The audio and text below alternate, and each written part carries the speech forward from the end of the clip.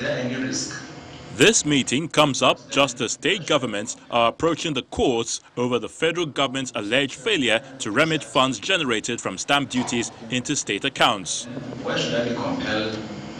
Members of the Joint Tax Board, comprising of heads of revenue boards from the 36 states of the Federation and the Federal Capital Territory, have converged on this hall to discuss ways of enhancing revenue generation. I welcome you. The board chairman says all are obliged to now focus on the collection of stamp duties as well as personal income tax to boost their revenue.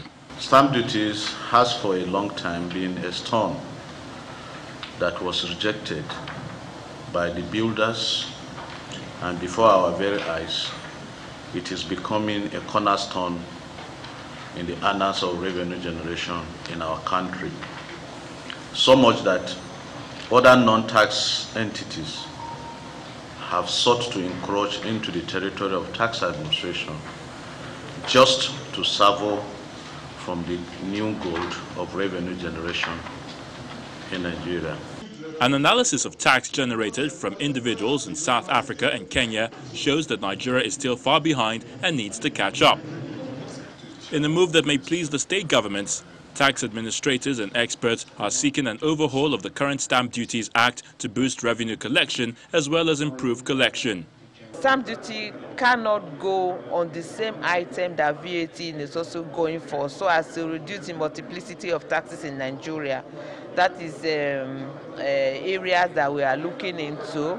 And we also specify on who is supposed to pay the stamp duty. These are areas that uh, the acts that we have currently did not take care of. There is a definite need uh, for immediate reform of, of, that law, specifically who is supposed to pay stamp duty. Okay, what is the timeline for payment of the stamp duty? What are the instruments that are really relevant for stamp duty right now? Government at all levels have been at the forefront of improved revenue generation recently. Various stakeholders consider this new drive to delve into other forms of taxes as timely and improving revenue generation capacity is welcome.